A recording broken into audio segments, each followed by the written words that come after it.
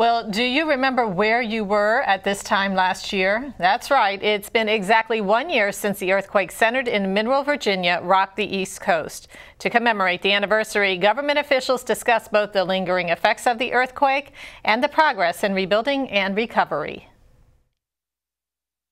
It was just before 2 p.m. a year ago that the ground shook up and down the East Coast, sending thousands onto the street. The lingering effects of that August 23rd earthquake are still being studied today. Here at the Washington Monument, it's the pyramid at the top that suffered the most damage during last year's earthquake. Now, the damage has caused the Washington Monument to be shut down until 2014 until repairs are completed.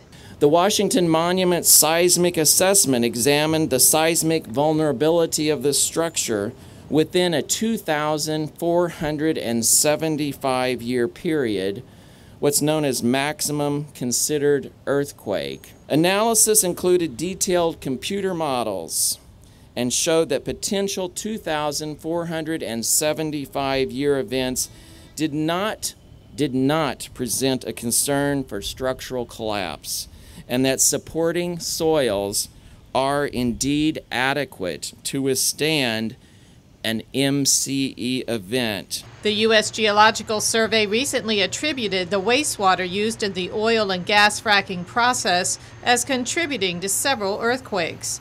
But the agency says fracking was not the cause of last year's earthquake centered in Mineral, Virginia.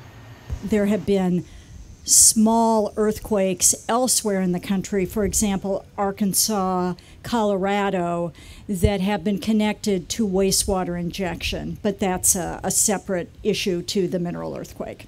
Just outside of the monument this morning, officials updated the press on the cost of repairs and the need to educate the public on how to respond when an earthquake strikes. The best thing to do in an earthquake is to stay where you are, take cover under a table if possible, something sturdy cover cover up, cover your hold, cover your head, and hold on until the shaking stops. But the last thing you should do is evacuate a building. More people are injured by falling debris and falling glass than anything else. And officials are asking residents to register for the October 18th Great Southeast Shakeout.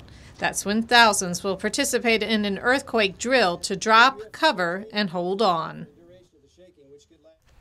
And for more information on earthquakes and emergency preparedness, you can log on to q or cusec.org.